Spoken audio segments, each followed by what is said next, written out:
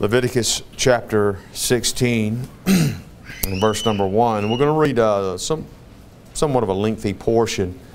So please work at listening, work at paying attention this morning. Leviticus chapter 16, verse number 1. We read through verse number 10, and then we'll look at a few verses after that in the same chapter. Leviticus chapter number 16, in verse number 1. And the Lord spake unto Moses after the death of the two sons of Aaron when they offered before the Lord and died. Let me stop here and ask you a question. Who were, who were these two sons? Anybody remember their names? Nadab and Abihu. They offered strange fire to the Lord. I believe they were charging in, they were going into uh, behind the uh, veil. There, they were trying to go behind the veil because they had the incense, and that was kind of the purpose of that incense was to shield you from the Shekinah glory. No, I'm just kidding. She shields you from the, uh, that's not in the Bible, okay, but shields you from the brightness of the Lord's presence there in the cloud above the cherubims above the mercy seat there. That the incense was to shield them, and they they took the incense, and uh, they were. It seems like to me they were going in there, and, and God struck them dead. Uh, it, but also, I believe, because they offered strange fire. The Bible says. Uh, and there's a lot of strange fire being offered today in the name of Christianity. You get a lot of churches and there's a lot of strange behavior, a lot of strange things going on, a lot of strange music, and a lot of strange behavior. But look at verse number two. And the Lord said unto Moses, Speak unto Aaron, thy brother, that he come not at all times into the holy place within the veil before the mercy seat which is upon the ark, that he die not. For I will appear in the cloud upon the mercy seat. One of the reasons why I believe that Nadab and Abihu tried to go into uh, the Holy of Holies is because right here, after it talks about them uh, dying, it brings up the fact that, you know, Aaron's not supposed to go back there anytime. He's not supposed to go back there at all times. He's supposed to go back there at a specific time once a year on the Day of Atonement. And that's what this chapter is about. This chapter is about uh, the Day of Atonement. Verse 3 Thus shall Aaron come into the holy place with a young bullock for a sin offering and a ram for a burnt offering. He shall put on the holy linen coat. Okay, so notice that. Coat, word coat. Okay, uh, don't believe this nonsense about, you know, men wearing dresses back then. Okay, he wore a coat. And it says, and he shall have the linen breeches upon his flesh. What does breeches sound like? Sounds like our word breeches, right? So again, don't believe that nonsense that men didn't wear pants in the Bible and they wore dresses, okay? That's nonsense. Breeches or hosen was the garment that pertained to men in the Bible, okay? And he shall have the linen breeches upon his flesh, and shall be girded with a linen girdle. And with the linen mitre shall he be attired. These are the holy garments. Therefore shall he wash his flesh in water, and so put them on. And he shall take of the congregation of the children of Israel two kids of the goats kids is just a reference to baby goats, two kids of the goats for a sin offering, and one ram for a burnt offering. And Aaron shall offer his bullock of the sin offering, which is for himself, make an atonement for himself and for his house. And he shall take the two goats and present them before the Lord at the door of the tabernacle of the congregation. And Aaron shall cast lots upon the two goats, one lot for the Lord, the other lot for the scapegoat. So they're trying to figure out, they're casting lots, they're trying to figure out, they've got these two goats at the door of the tabernacle. They're trying to figure out which one's going to get killed, which one's going to be the scapegoat. It'd kind of be like rock, paper, scissors, or, you know, casting lots. They more likely had straws and they would see uh, so it'd kind of be like flipping a coin or something along those lines. All right, Leviticus 16, verse 9. And Aaron shall bring the goat upon which the Lord's lot fell, and offer him for a sin offering. So this is the goat that's going to be killed. This one's going to be the sin offering. But the goat on which the lot fell to be the scapegoat shall be presented, don't miss this, alive. The scapegoat was to be presented alive before the Lord to make an atonement with him and to let him go for a scapegoat to the wilderness. Now jump down to verse 20. And when he hath made an end of reconciling the holy place and the tabernacle of the congregation and the altar, he shall bring the live goat, and Aaron shall lay both his hands upon the head of the live goat and confess over him all the iniquities of the children of Israel in all their transgressions, in all their sins, putting them upon the head of the goat, shall send him away by the hand of a fit man into the wilderness. And the goat shall bear upon him all their iniquities unto a land not inhabited, and he shall let go the goat in, in, he shall let go the goat in the wilderness. Now, the events that we just read about deal with the Day of Atonement. If you study this out, you will see that this happened once per year, and I believe was the most important of all the ordinances given to the nation of Israel. This was the one time all year that the priest would go behind the veil to make atonement for all the sins of the entire congregation. Now, first, Aaron, the high priest, he would bathe himself, put on proper clothing. He would offer a sin offering for himself and those priests that were of his house, the other priests. And then next, the high priest would present two goats as a sin offering for the people. One was slain, the other one was sent into the wilderness as a scapegoat. The live goat was the removing goat. The live goat was the one that removed the sins uh, of the nation, symbolizing the removal of Israel's sins. It was just, I don't believe it fully removed their sins. The Bible says blood of bulls and goats, you know, didn't wash away man's sin but symbolically it removed their sins and, and, and or, or, or, it just pacified God. It appeased God for a little time. Basically what it did is it held God's hand of judgment back up until it could be come down on his son, till judgment it could fall on his son. Okay, so it did in a sense atone for sin. It did in a sense appease the Lord, pacify the Lord, satisfy the Lord. Okay, it did. But it didn't completely remove sin. That didn't happen until Jesus Christ, okay? But the live goat was the removing goat, symbolizing the removal of Israel's sins. And that's what I want to preach on this morning. Now, one of my pastors used to say, everything worth a plug nickel came from the Bible. I'm sure everybody in this room has heard that term before the scapegoat. Now, that's a word that even the world uses. But where did that term come from? It came from your King James Bible. Amen? Amen.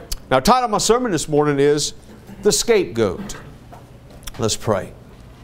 Father God, I pray you forgive me for my sins. I pray you forgive me from anything that would hinder me from being used of you this morning. I thank you for this truth, Lord. I pray you'd help me to deliver it. I pray this will be a help to our people. And you would help me to be a help to our people. I pray you'd use me in spite of me this morning. In Jesus' name I pray. Amen. Now, the book of Colossians and the book of Hebrews both teach us that the Old Testament ceremonial laws and ordinances were a shadow of heavenly things and good things to come.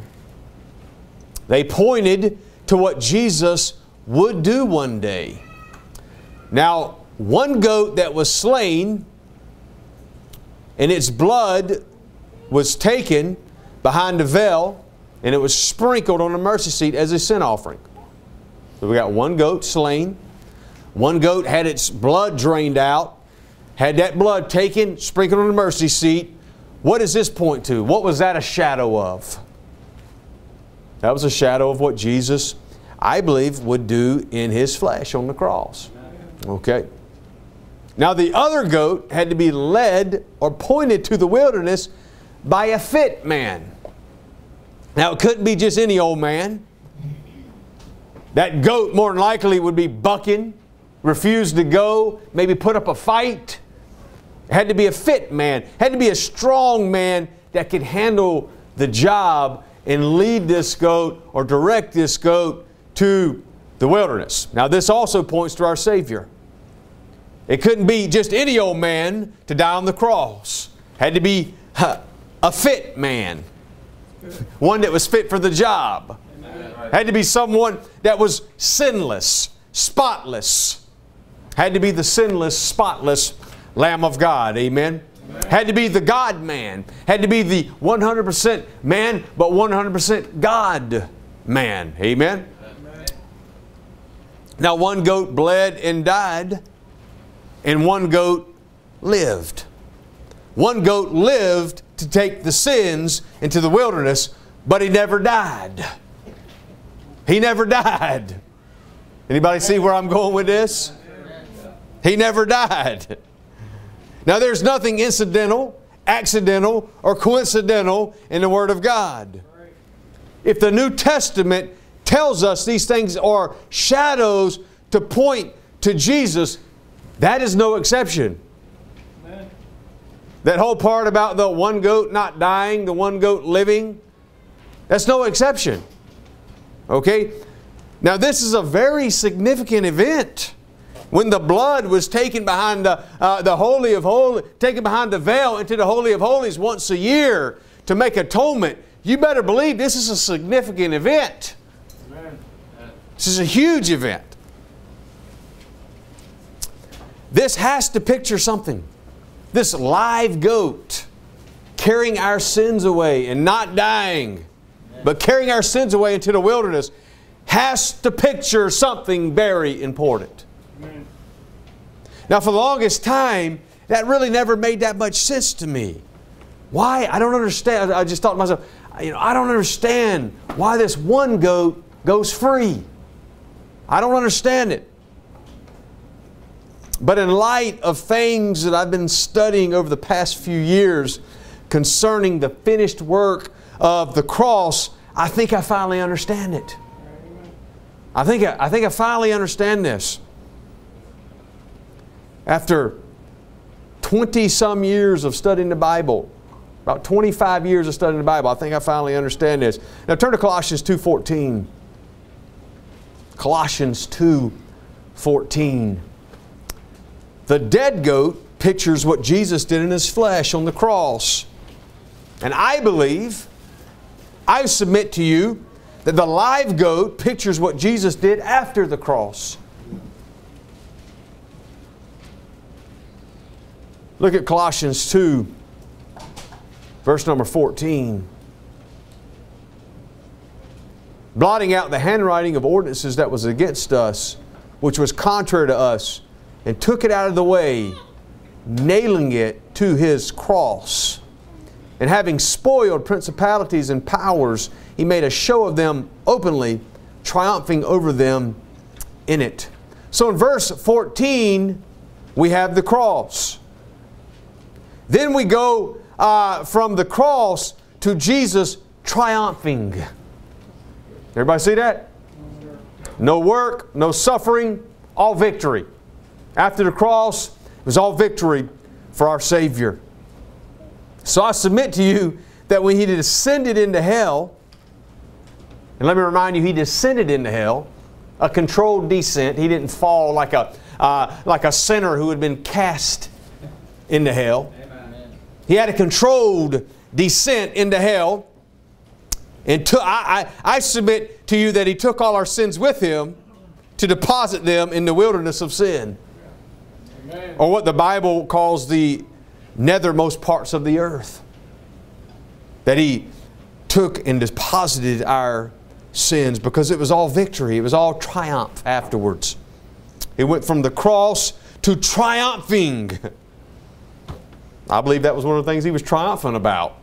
The fact that he was discarding or disposing or depositing those sins in the wilderness of sin, the nethermost parts of the earth.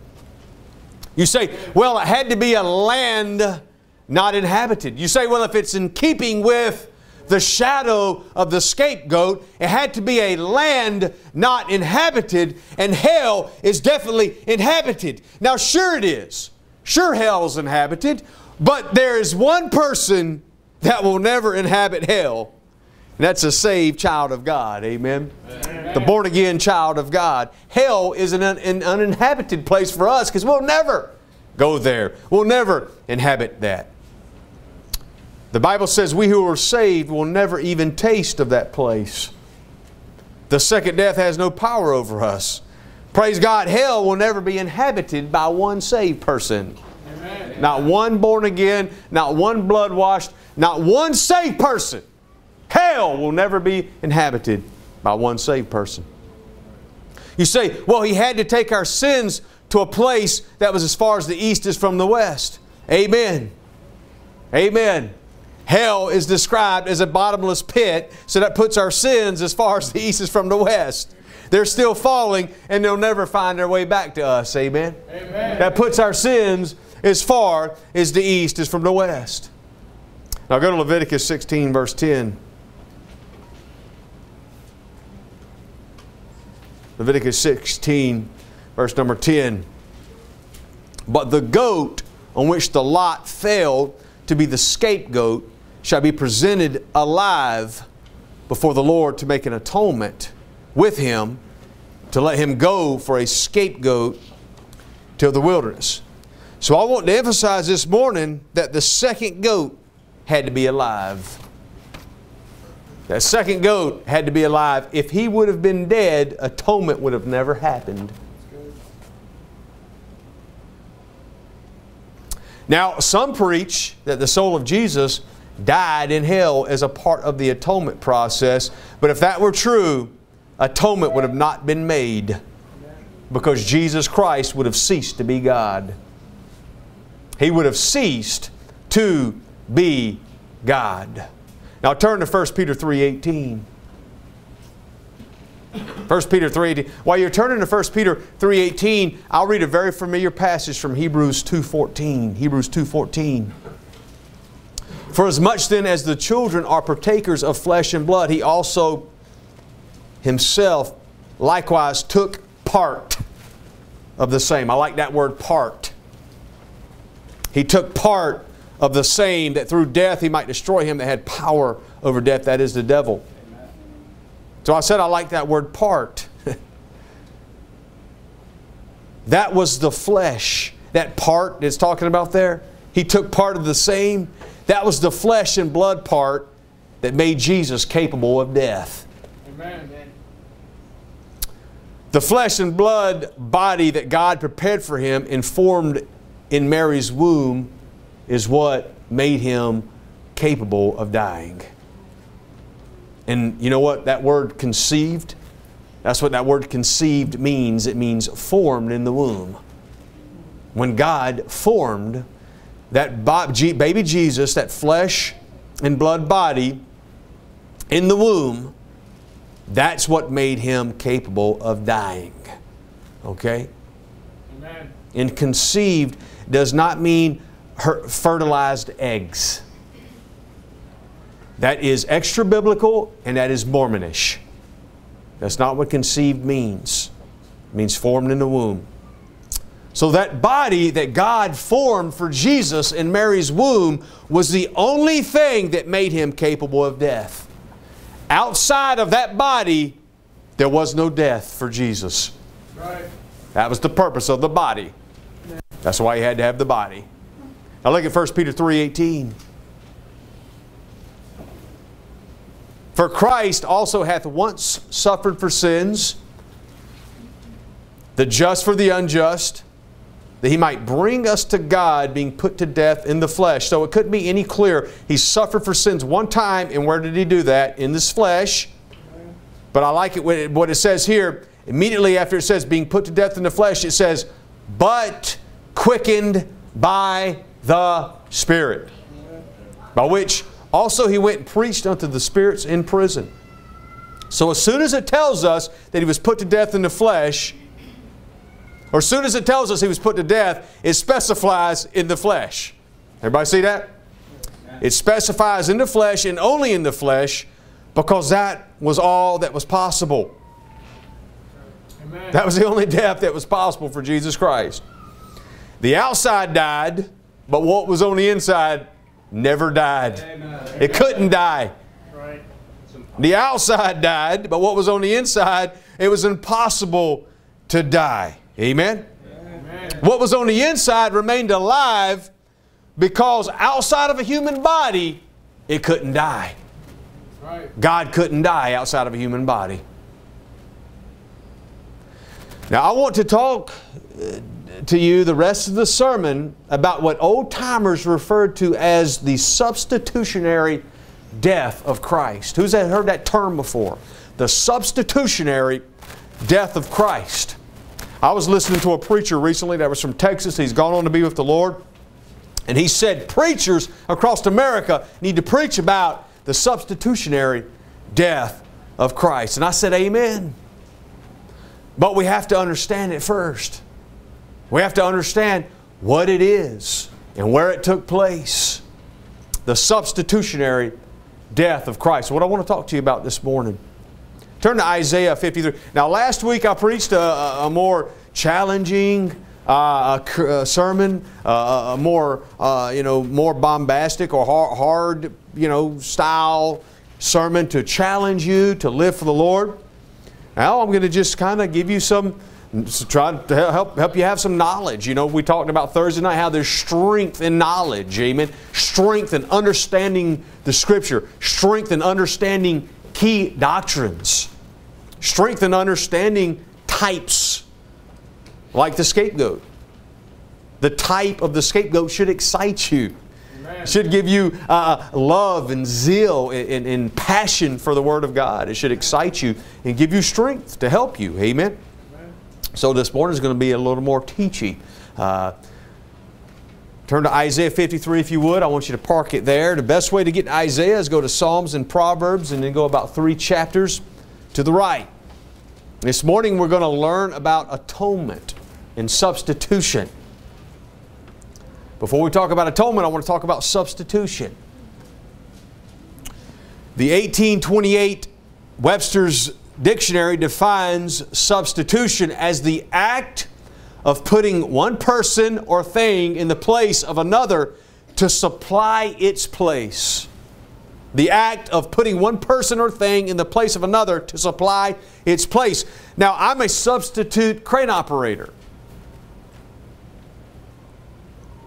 I only, I only filled in last week one time. I don't do it that often. Get called on occasion. Last Friday, I put myself in Brother Matt's place. Brother Matt's also a crane operator. We work for the same company. I put myself in Brother Matt's place so he could go out of town for a funeral. So when we're talking about the substitutionary death of Christ, we're talking about the fact that He stood in our place. Amen? Amen? He stood in our place. He put Himself in our place. We're talking about the fact that He stood in our place as sinners and took our punishment so we wouldn't have to. Amen. I showed up for work for Brother Matt so he wouldn't have to. Jesus stood in our place and took our punishment so we wouldn't have to. Amen? Now we all agree on that, right? We all agree that Jesus took our place, took our punishment. We all agree with that. But where did He do that? Where did He make atonement? Where did he actually stand in for us? That is what that, that is where there is some debate. That is where there is some controversy. Was it on the cross or was it in hell? Now, some say that the atonement had to be finished in hell because that was our punishment. So Jesus had to go to hell to suffer and take our place. Since that's what we deserved, He had to go to the same place that we deserve.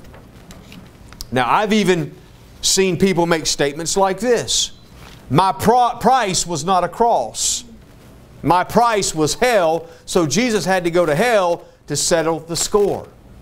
But let me tell you, that is man's logic. Let me tell you, that is not New Testament doctrine. That's man made logic, is what that is. See, the people that make these statements, they don't understand what atonement means. And what they do is they ultimately render the, cry, the cross of Christ as being insufficient. That's ultimately what it boils down to. So let's just talk about the word atonement for a moment. They don't understand what substitution or, or they don't understand what atonement means. Okay, and I'm going to talk to you about that. Now, from the Bible, atonement means to appease. I believe we can all agree if you study it out. I believe we can all agree from the Bible. If you study it out, you, you will come to the conclusion that one of the definitions of atonement is to appease. Now let me read to you the 1828. Listen, listen carefully. Listen carefully to the 1828 definition of atonement. This is definition number two. Satisfaction or reparation made by giving an equivalent for an injury. And that's where people will stop. See there? Had to be equivalent. Had to be hell for hell. I deserved hell, so Jesus had to go to hell and suffer. They say it has, had to be equivalent. But let's not stop there. Let's keep reading. So I'll read it again. Satisfaction or reparation made by giving an equivalent for an injury or, it's a big or, or by doing or suffering that which is received in satisfaction for an offense or injury. Big or there. So atonement doesn't have to be an equivalent. It can be whatever is received in satisfaction. Now, when it comes to atoning for the sins of the world, the Lord's wrath and judgment being appeased, it didn't have to happen the same way as in hell for hell. God can determine whatever it is that satisfies Him. Doesn't have to be an equivalent in God's eyes. Hell for hell, no, it's whatever He determines that would bring Him satisfaction.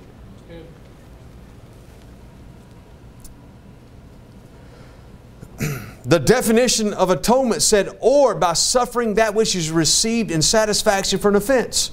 You know what satisfied and appeased the Lord's wrath? The cross. Amen. The cross. And I'll prove it to you. Look at Isaiah 53 10. At Isaiah 53 10. Yet it pleased, please, underline pleased. Please, underline please. Yet it pleased the Lord to bruise him. Now that word pleased is very similar to appeased, isn't it? Amen. It pleased the Lord to bruise him, not burn him. Proves the Lord, Lord to bruise him he hath put him to grief when thou shalt make his soul an offering for sin. He shall see his seed. Amen. Notice that. He shall see his seed. God had a seed. All seed means is offspring. Jesus was the Father's offspring. Seed doesn't necessarily mean, uh, uh you know, of an, of an egg. Okay? It means offspring. Jesus Christ was uh, the Father's seed, He was His offspring. It says, He shall see His seed, He shall prolong His days, and the pleasure of the Lord shall prosper in His hand. Look at verse 11. He shall see of the travail of His soul, and shall be what? Satisfied. Amen. There's your atonement. Satisfied, appeased. He sh- and shall be satisfied by His knowledge shall my righteous servant justify many, for he shall bear their iniquities. So, so the Father was satisfied when he saw the travail of his soul and when he bore their iniquities. Now, where did that happen? Where did it happen when Jesus Christ bore our iniquities? It happened on the cross. So, where did God the Father see the travail of His soul? On the cross. The context of verse 11 is on the cross. The travail of His soul and the bearing of our iniquities uh, that satisfied the Father was on the cross. Amen? It was on the cross. Now it says, when thou shalt make his soul an offering for sin, uh, back up, look at verse 10 again. It says, yet it pleased him. So he was pleased, uh, and, and, and uh, when the Lord was bruised and put to grief, and his soul was made an offering for sin. Now, sometimes soul is just referring to a person in general. That doesn't necessarily mean that his soul, that doesn't, that does not mean, it absolutely does not mean that his soul was an offering for sin in hell. Because that would have been twice suffering. Okay? But sometimes soul is just referring to a person in general. You poor soul. Don't we say that sometimes? So sometimes soul is being referred to as a person in general. But I, I, I don't think that's the case here. I believe this is actually referring to Jesus' soul being made an offering for sin. But where was it made an offering for sin? On the cross. he shall see the travail of his soul. Where was that? On the cross. Talks about when he uh, bear our, bore our iniquities. When was that? On the cross. I believe that Jesus Christ, and I have a sermon, the Lord willing, I'll preach one day. It's called The Hell of the Cross. I believe that while hanging on that cross, Jesus felt everything that in his soul that we would have felt if we'd have went to hell. That's right, brother. Amen. Amen. All the pain, the agony, the suffering, the torment we would have felt in hell. Jesus felt that in his soul while he was on that cross. Amen. The hell of the cross. I believe he felt that while he was hanging on that cross. Now, the punishment that our Savior was dealt on that cross was enough to please, appease, and satisfy the Father. Amen. It didn't have to be equivalent hell for hell. You know why? Because that wasn't even possible. Uh, an equivalent hell for hell was not possible. Why? Think about this. Even if Jesus, let's just pretend Jesus went to hell to suffer for our sins for three days and they say, okay, it had to be an equivalent. That's not equivalent. Because I didn't owe three days. You didn't owe three days. You owed an eternity. So how are you going to say that's equivalent? It's not equivalent. We owed an eternity, not three days. People say, well, my price is not a cross, my price was hell. Well, our price wasn't three days in hell, our price was an eternity. Some say, well, God crammed eternity into three days. Okay, first of all, that's not biblical. Show me that somewhere in the Bible. That's not biblical. That's extra biblical. First of all, that's not biblical. But second of all, I thought eternal meant eternal. Amen. So, you know, I guess if God could cram an eternity into three days, then eternal really, really doesn't mean eternal, and maybe we could lose our salvation after all. I guess our salvation isn't really that eternal after all. I guess it could be temporary. Maybe we could just keep it for three days or three months or three years. See how that teaching cheapens and weakens the word eternal? Amen. Eternal means eternal. God didn't cram an eternity uh, uh, in three days because eternal means eternal. And we want to keep the word eternal strong for the gospel's sake. Amen. Eternal means eternal, not three days. Means eternal. And let me just say this if you boil it all down, I don't see how a person can believe in eternal security and say that Jesus died in hell. I don't see it. A lot of things have come to light over the last two years since I've been studying this thing out. I don't see how someone can believe in eternal security. If you believe Jesus died in hell and suffered in hell, I don't see how you can believe in eternal security. Because 1 John 5:20 says that Jesus is the true God and eternal life. Amen. He is eternal life. Eternal life does not suffer in hell, folks. Amen. You know what? Jesus also had faith. Galatians 2:20 says, "And the life which I now live in the flesh, I live by the faith of the Son of God who loved me and gave himself for me." Look, people with faith in the Lord and people with eternal life don't suffer in hell. Jesus had faith in the Lord. Jesus had, He was eternal life. He had eternal life because He was eternal life. And when you have faith in the Lord, faith in Jesus Christ, and you have eternal life, you don't suffer. Suffering's off the table. It's off the table. It's not a possibility. Amen? That's why this teaching goes against eternal security. Now, watch this. Listen carefully to this statement. If people can believe that our eternity in hell was supposedly condensed and crammed into three days of Jesus burning in hell, then why can't they understand that that same punishment was crammed in the cross? Amen. So you can cram it into three days in hell, but you can't cram it. God, God had the power to cram it into three days in hell, but He couldn't. He lacked the power to cram it into the cross. That's right. That's good. I don't understand it. How people can say that, well, there had to be an equivalent. Had to be hell. Well, it wasn't equivalent because it wasn't eternity. And I don't understand how you think God could do that in hell, three days in hell, but He couldn't do it on the cross. Well, He did do it on the cross. Amen. He did do it on the cross, and I'll tell you why. Because I want to tell you what the equivalent of a sinner burning in hell forever to the Father is. Here's the equivalent. The, the equivalent of a sinner burning in hell forever to the Father is this. Here's what it is it's God the Son taking on human flesh and living a sinless life and paying for the sins of the world on the cross.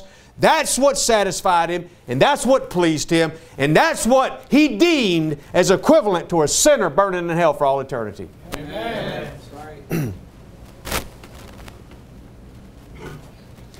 now, the biblical word for that is propitiation. Amen. Propitiation. Now listen to Romans 3.25, whom God hath set forth to be a propitiation through faith in His blood to declare His righteousness for the remission of, remission of sins that are past through the forbearance of God. That's what satisfied, that's what propitiated, satisfied our the Father, God the Father. What God the Son did, God the Son was the propitiator. Okay? And what he did on the cross was the propitiation. Now let me read you the definition uh, of propitiation, 1828. 1828, Webster's defini definition of propitiation, the act of appeasing wrath. Amen. Now where was the propitiation for our sins made? Where the blood was shed. Let me just read you the verse here in Romans 3.25. Whom God have set forth to be a propitiation through faith in His blood. The propitiation was made where the blood was shed. Now, something as big as the atoning process, you better know that if Jesus had to suffer in hell to accomplish that, you better know it would be mentioned somewhere in the Bible. And you also better know that it would be necessary to believe in for salvation. You have to have faith in that which propitiates. Faith in the blood. Faith in His bloody death. Faith in the burial. Faith in the resurrection.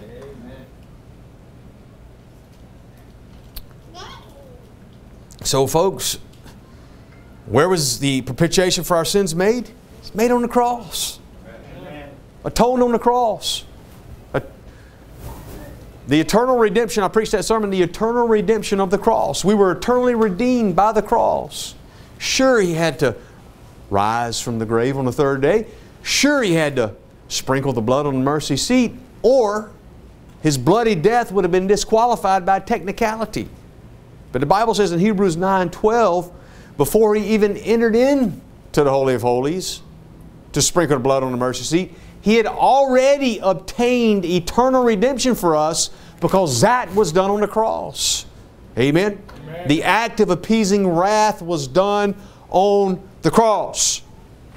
Now, let me give you some application. Let's rejoice and be reminded that the scapegoat took our sins into the wilderness. Amen.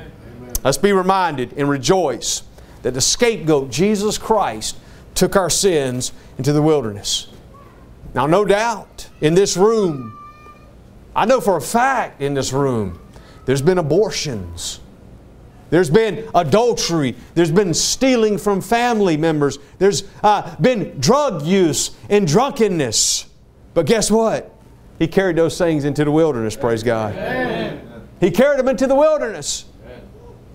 Recently, I was reading Acts 21 3. Let me read you a portion from this verse here in Acts 21 3. It says, They sailed into Syria and landed at Tyre, for there the ship was to unlade her burden. That ship was to unlade her burden. You know what some of you need to do? You need to make like this ship. You need to unlade your burden. You need to quit carrying around the things that Jesus took to the wilderness. If he took it to a place that is not inhabited, then why do you try to inhabit that place? Why do you go back and try to waller in those sins? Every time you go back and you dig up your past and fret over your past, you're trying to go to a place that's supposed to be uninhabited. Amen? Amen. Leave those sins where Jesus deposited them.